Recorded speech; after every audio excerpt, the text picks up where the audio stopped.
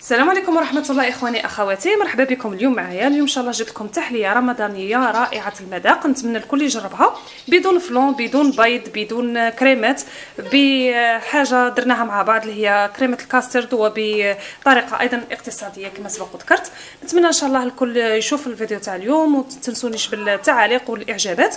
وإذا كنتم أول مرة تشاهدوا القناة نتمنى منكم الضغط على زر الاشتراك أسفل الفيديو وتفعيل زر الجرس ليصلكم جديد الوصفات. نخليكم مع المقادير وطريقة التحضير.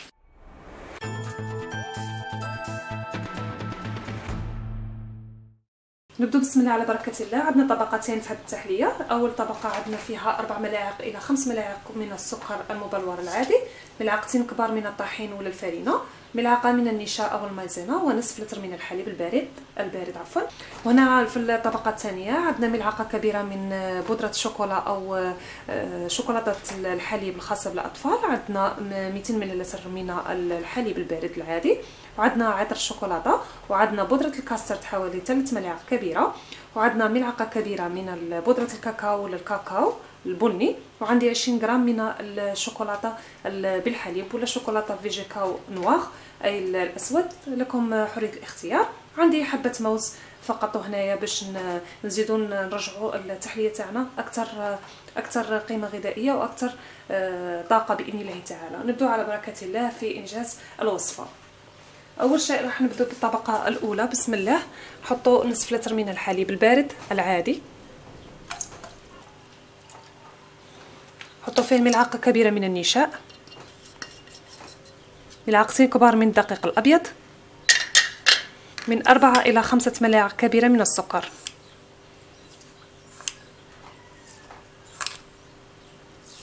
أكتفي ندير ربعه انايا كل وحده على حسب الذوق تاعها. الآن كلشي هنايا نحلها بالفوي بارد في بارد. حتى هنايا كلشي يذوب.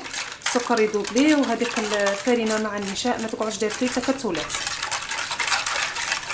هنا بعد اللي حلينا السكر ومبقات ليش تكتلات نحطوها مباشرة على النار مع بعض. هنا على نار متوسطة نقعدوا نواصل التحريك حتى تصبح ليه كريمة عاقدة. ولا كثيفه القوام كما رانا متعودين نديرو في الكريمات الأخرى. هنا الأخوات بدات تعقد الكريمة كما راكم تشوفوا ها هي. مانيش باغيتها كثيفه القوام بزاف. دوك نوريكم الكثافه اللي رانا باغينها.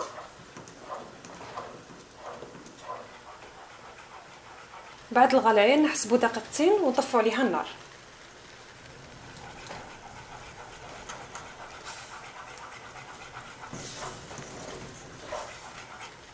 هنايا صاي أصبحت جاهزة الآن. نطفئ النار. ها هو القوام تاعها أخواتي. كيفاش يكون؟ ثقيلة نوعا ما. ماشي مخطرة. نفوتو نواصلوا الوصفة تاعنا بإذن الله.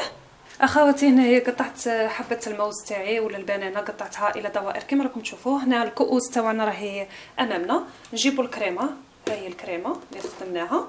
بسم الله على بركة الله. نبداو نعمرو في الكؤوس.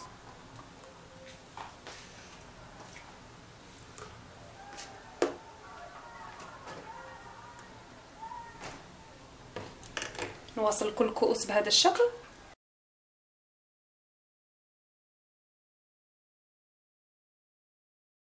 الآن الأخوات بعد اللي عمرنا الكؤوس تاعنا نجيبوا البنان ونحطوه كطبقة ثانية في الكؤوس. الآن نديروا الموز في الكؤوس طريقة إن نقضبوا الحبة وندخلوها في الوسط الكريمة بهذا الشكل.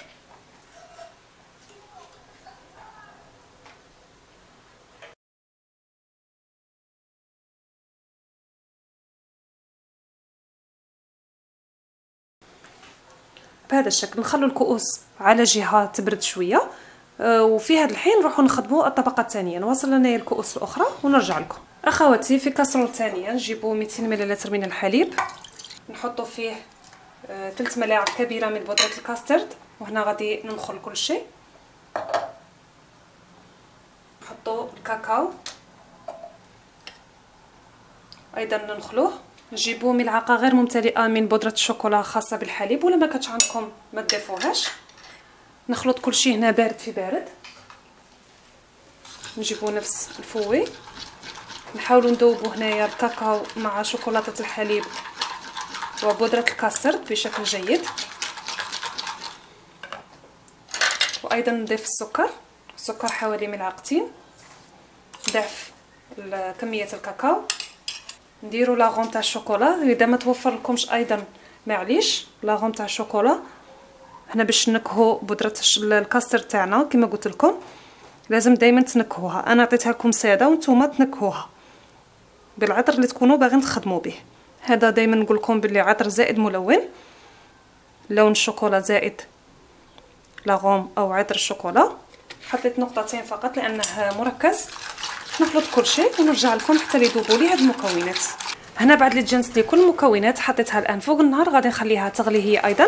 وحتى تكون لي كريمة ثقيلة القوام نرجع لكم بإذن الله تعالى. أيضا النار تكون متوسطة وما توخروش يدكم عليها بالتحريك.